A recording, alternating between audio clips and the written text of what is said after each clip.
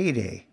Now, for adults, that's when you receive compensation for what you do on the job. For students, payday is grades. And you know how I feel about grades. I don't like it one bit, but that's the way it works. So, on Monday, November 5th, 2018, I have to submit your 12 week grades, your pay. And to a great extent, your pay depends on how you dealt with your FWR, your freedom with responsibility. And I'm going to absolutely, positively judge you on your deeds, not your words. Oh, Skocko, I'll do it. Your words are meaningless if your deeds don't back them up.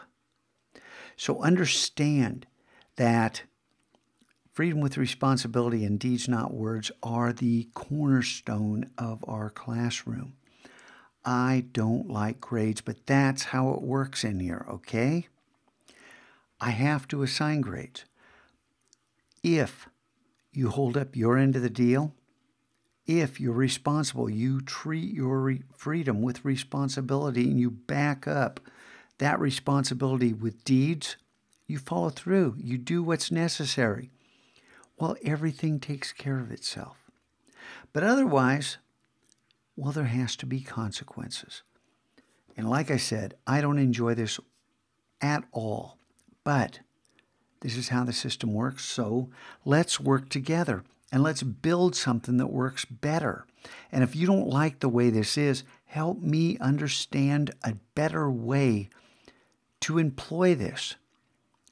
Because payday in the form of grades is an inescapable part of the education system right now.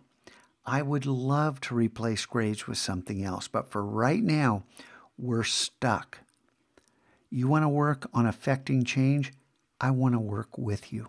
Let's talk about it. But until then, you take care of your job, I'll take care of mine, and hopefully we'll find a way that all of you can achieve maximum pay, which is an A.